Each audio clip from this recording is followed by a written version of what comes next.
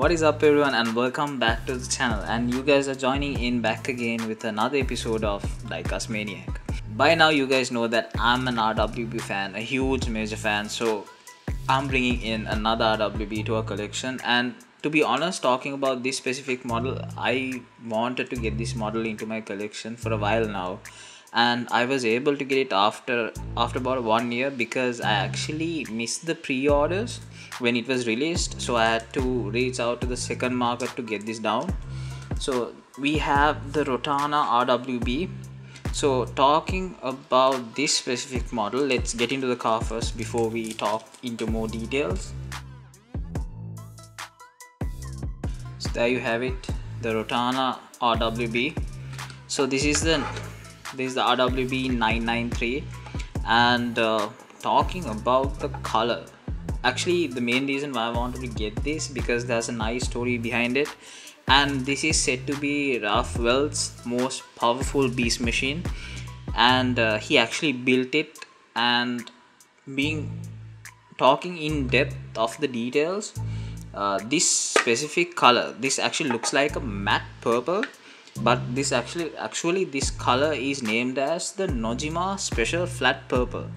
So and uh, this is actually a turbo car edition and Ralph actually built it by himself just as the other cars but he paid a lot of attention in order to get this beast done properly.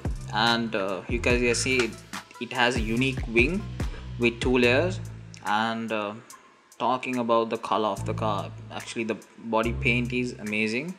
And tarmac has been able to done a pretty good job as always when it comes to rwbs and um, i have always been happy with uh, what tarmac is coming up.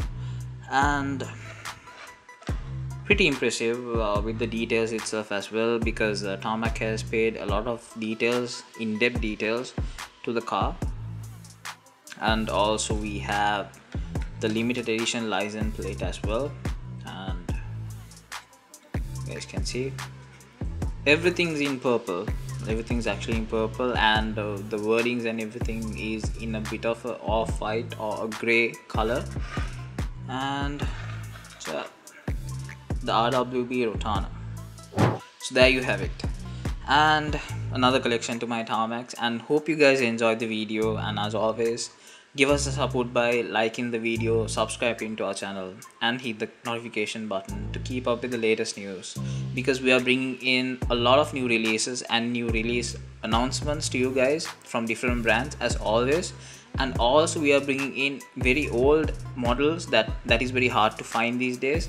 So we are doing our best to show you guys and give you guys a really good background of these models and these brands and also bringing in treasures into our collection and show you guys as well. And see you guys very soon on the next video